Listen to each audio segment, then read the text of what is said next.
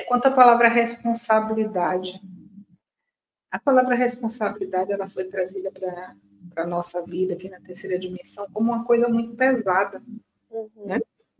E isso, pelo cunho que a palavra tem, pela crença que nós temos na palavra, quando a gente fala que despertar leva a um processo de autorresponsabilidade, as pessoas têm medo.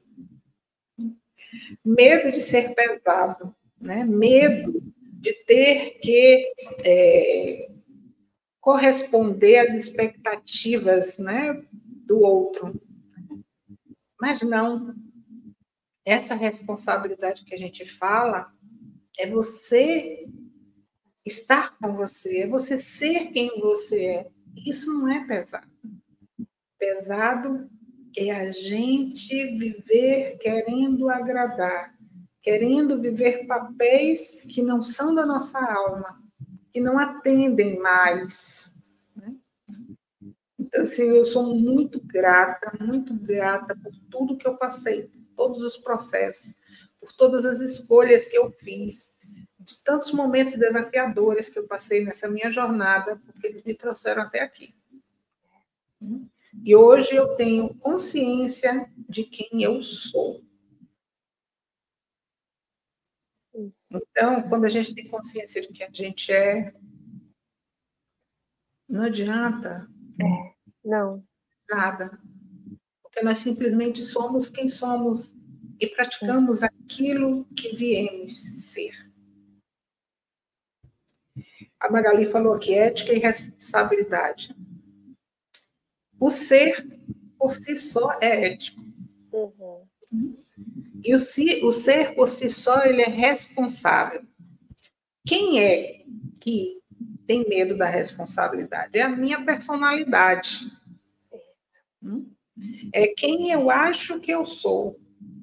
São as minhas crenças e o meu ego. Porque o ser, ele não tem medo da responsabilidade. Porque ele não é nem responsável nem irresponsável, ele apenas é a essência. Quando a gente começa a tirar todos esses é, conceitos e preconceitos que a gente criou, o que sobra? O ser, que apenas é. É como a fonte. A fonte não existe, ela é. Isso. Né?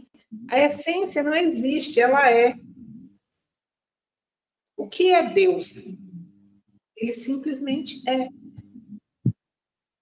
Ele não é bom, ele não é ruim, ele não é malvado, ele não é alegre, ele não é triste, ele não é nada. Inclusive, no capítulo do livro tem, tem uma historinha que eu achei muito interessante. A Alegria da Estrela, uma coisa assim. É porque eu não lembro do, dos títulos direito. Mas eu fiquei pensando, né? Uma, alegria, uma estrela tem, tem alegria? e aí, agora a gente falando aqui né, sobre é os atributos divinos, né? Isso. A gente simplesmente é. Então a gente é amor, a gente simplesmente é. Uhum. Esse uhum. é o estágio que a gente está caminhando. De simplesmente é. ser. Isso.